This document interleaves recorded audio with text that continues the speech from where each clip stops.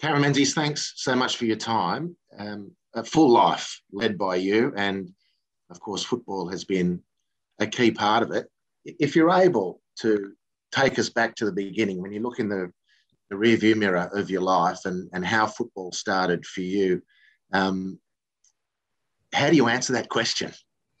Well, uh, look, that's a really easy question for me to answer because for me as a kid, football was everything. But I grew up in an era where girls were not expected, encouraged, and when it came to playing football at school with uh, the other kids, namely boys, I would then be disciplined quite harshly. I, I, I'd regularly get the cane, but but that was wasn't even a deterrent for me because I just loved it so much that I knew that I was going to get into trouble. I knew that I was going to have to be picking up papers around the playground. I knew I'd eventually get caned, but I, I just kept doing it. Mm. I mean, how do you stop playing when you can? Mm. So, so where was this, Karen? And and uh, your, your childhood, I'm assuming, was in Newcastle. Is that um, just to divert um, slightly? Is that your traditional country as well, as an Aboriginal woman? No, my um, my grandmother's country is in the Hunter Valley. Um, so the Wonnarua people is where um, my whole family comes from. That's my maternal side. Uh, now I grew up in Sydney for the first thirteen years or so. So uh, those primary school days where that harsh discipline was meted out to me was in Sydney, and then I moved to Newcastle. Uh, I, I'm not sure if you know that I was part of the Stolen Generations. So I grew up um, with my Anglo Scottish family, not knowing I was Aboriginal. And then things went pear shaped and they put me in an institution when I was 13 in Newcastle.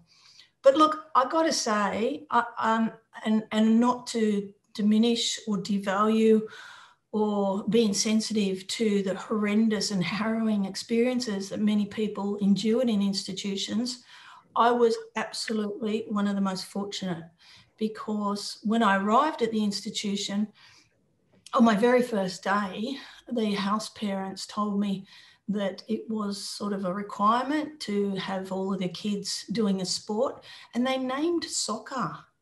And I think I maybe arrived about two o'clock in the afternoon. And by five o'clock, I was at the local soccer field training with the local soccer team in a girls' team. Like I'd never played competitive before and I'd never played with girls before. Mm. So it was just, it was remarkable for me. Your, your story is not an uncommon one, although there'd be a lot more people who've gone through that phase of their life who don't look back on the institutionalisation so kindly. Mm. Nevertheless, interestingly, you said as part of the stolen generation, Aboriginality wasn't acknowledged. At what point in your life did your Aboriginal identity um, take root for you? Was it was it by virtue of the fact that you were institutionalised? Was that the first reckoning for you? Well, yeah, but not not immediately. So uh, over the years, when I started to feel like I could navigate what the institutionalized system was like. Although I went to an external high school, so it wasn't all internal, and um, and regular meetings with uh, all of the senior people about where I was headed in life, and um, so.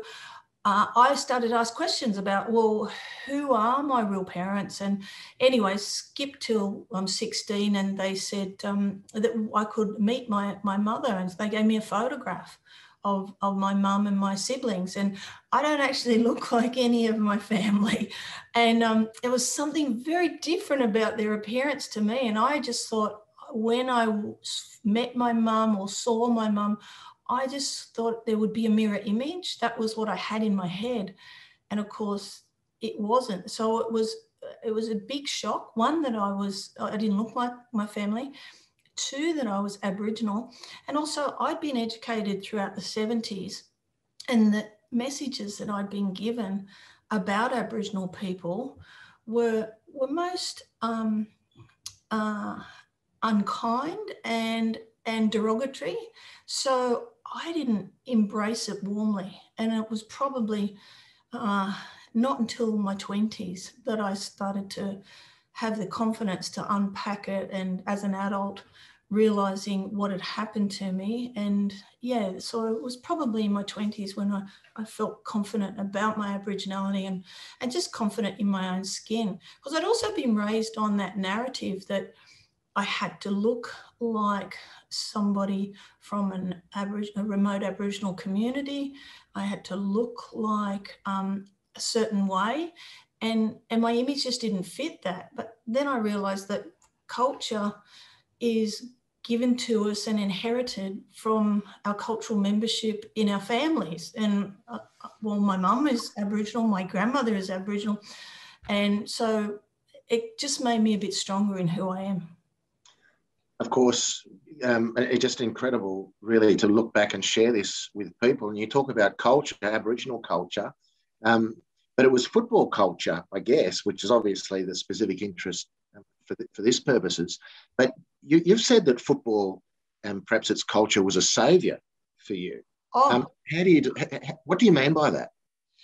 Well, I think because the institutional life was so not harsh in a in a in an abusive way because I was always safe and and always protected, but it was in a very big, large setting. It was in a very clinical setting, unlike a family home. So there was lots of things that were not particularly nice. And um, so, because of my love of football, and because my house parent was absolutely addicted to football as well, he he'd been born in England, and uh, I think it was his father had played for the English schoolboys. So so he had it in his DNA, and so he was uh, my coach, and um, and and I think um, because of his involvement and his interest, he really cultivated my interest, um, which was already very high.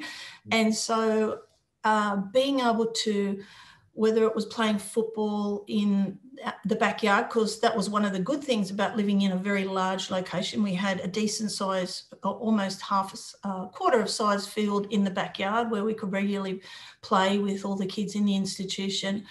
And um, and then I, would say most afternoons after school, I was at either at uh, football training or out at the local park practicing myself. And so it was the thing that gave me uh, a sense of purpose, but, but, but probably also during those times, especially from 16 to 18, when things were very confusing, trying to navigate who I was as an Aboriginal person and not knowing what that path would look like, uh, I was able to draw on football as a way to uh, I guess, uh, expel that pent up aggression, anger, whatever it was.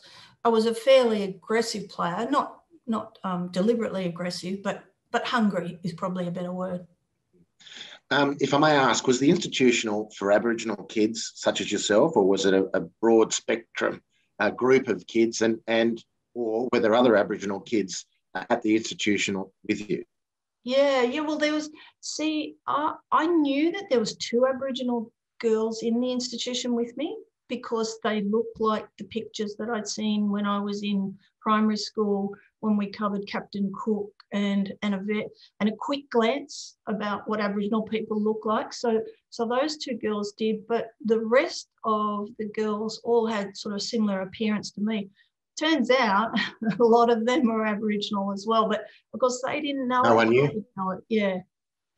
Did they play football too? Um, was this was this a cohort of girls at the institution playing football? Did you infect them also? Yeah, well, well, uh, I think so. But um, look, there was another um, resident there who's been really a lifelong friend. Uh, she actually got into the Matildas before me. She's a non-Aboriginal woman, uh, but uh, yeah, uh, Leah was um, in the Matildas as a as a very young player, uh, 15 or 16, I think she was picked in the Matildas. Was when she first went on her tour. So yeah, there was there was a whole soccer football vibe where we grew up, where and watching football uh, on television, and and uh, while we had sort of strict um, times around bed and and getting up and all that sort of stuff, FA Cup all bets are off. We were up all night. yeah, yeah. Especially with an English you know, mentor teacher, I'm sure that that, that yeah. person made made it happen. Of course, this all materialised in you becoming the first Aboriginal woman to play for Australia. Yeah. Um, your your your Aboriginal identity has, by this stage, I'm sure, taken pretty much full flight. Um, how significant, uh, maybe even as a political statement for you, even if at the time it wasn't, to be this first, to establish this beachhead for Aboriginal women in the national team of Australia? Look, I, at the time, I didn't actually realise that I was the first person.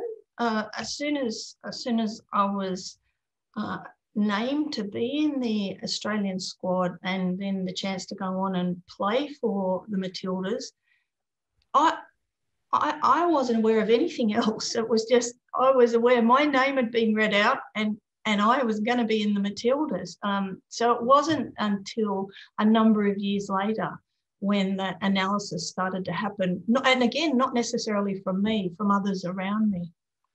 Mm. But it was pretty, so, pretty special now. I have to I'm, sure, I'm sure it is. It's it's huge credit to you. Um, and of course, football might have been your saviour, and the institution as a part of your life is is what happened.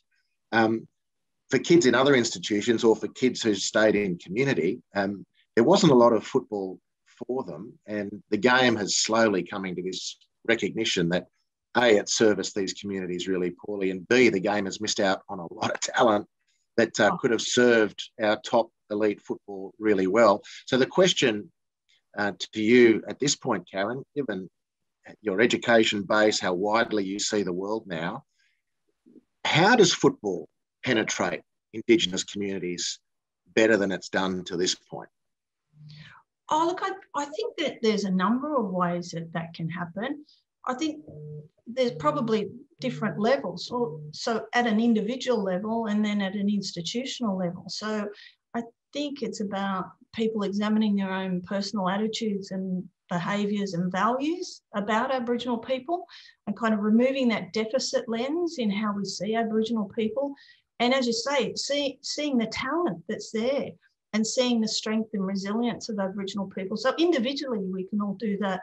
And certainly at an institutional level, all of the federations need to be more proactive in making sure that they have good um, policies and procedures in how they engage with Aboriginal communities, Aboriginal leaders, good protocols in how they um, use those respectful engagement techniques. So, so there is lots of avenues in, in how to access these players because I agree with you, there is enormous talent out there.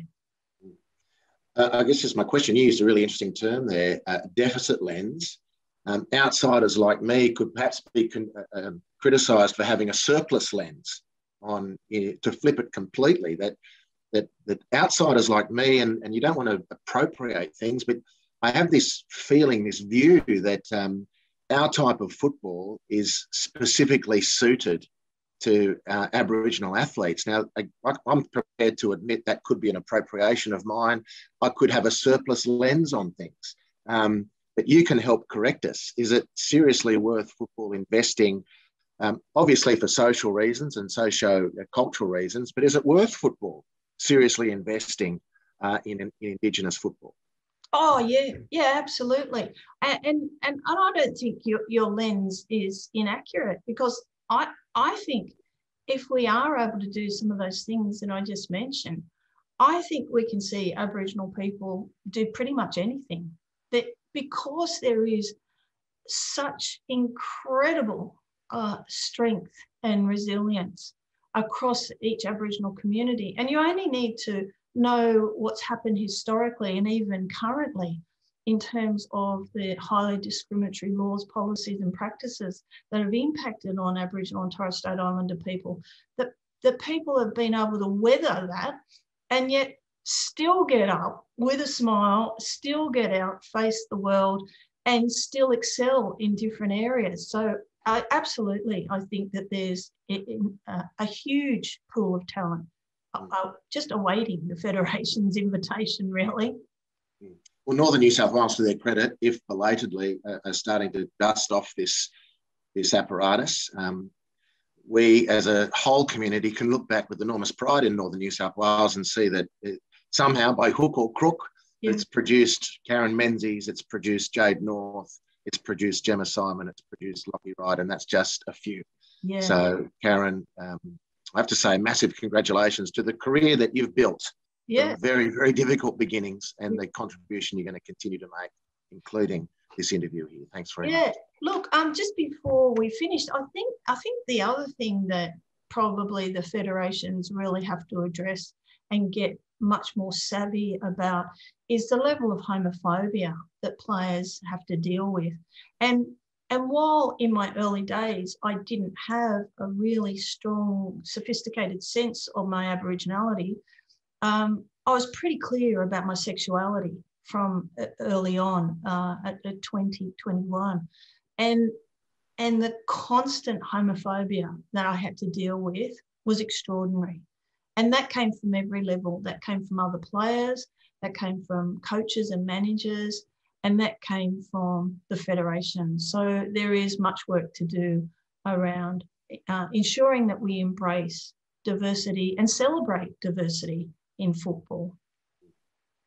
Well, you're a big celebration of it. Thanks for your time. Yeah. Massive congratulations. My pleasure, Andy. Nice to chat with you. Bye bye. See you later.